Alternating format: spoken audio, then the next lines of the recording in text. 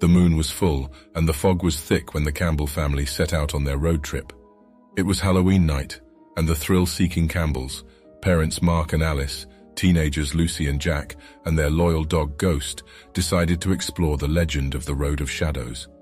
The legend said that once every Halloween, the hidden road emerged from the mist, and the travelers who dared could meet the spirits that roamed there.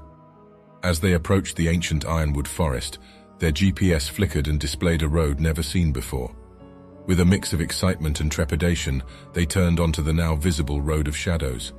As they entered, the car was enveloped in shadows and a chilling wind howled. Ghost whimpered and nestled closer to Lucy. The forest was alive with ghostly whispers and flickering spectres. Alice, who was skeptical of the legend, gasped as she saw figures dancing in the mist. Their first encounter was at Weeping Creek. A lady in white stood by the creek, crying into her hands. Alice, sympathetic, approached her. The lady looked up. Her eyes were empty pools of sorrow. She whispered, Find what was taken from me, return it, and my soul shall rest. The Campbells promised to help. As they continued, their headlights caught a glimpse of an old journal on the road. Lucy picked it up. The journal belonged to a woodsman who had found a locket by Weeping Creek many years ago. They realized that the locket must be what the ghostly lady was looking for.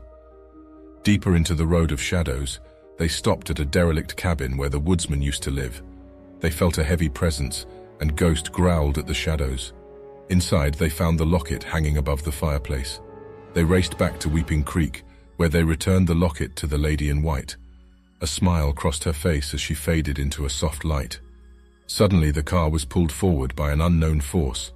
They arrived at an ancient cemetery, where restless spirits roamed.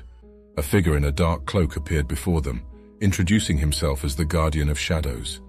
He tasked them with solving a riddle to safely pass through. In shadows we dwell, with secrets untold, where the restless lay, and the night is old.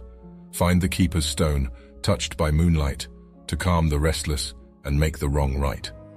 Jack, who was a riddle enthusiast, figured out that they needed to find the tombstone of the cemetery's keeper, which should be touched by the moonlight. After searching, they found a tombstone bathed in moonlight, with an emblem of a guardian. They placed their hands on it and spoke the words, Calm the restless, make the wrong right. The spirits around them bowed and thanked them before peacefully fading away. The Guardian of Shadows appeared again, his cloak falling away, revealing an ethereal suit of armor.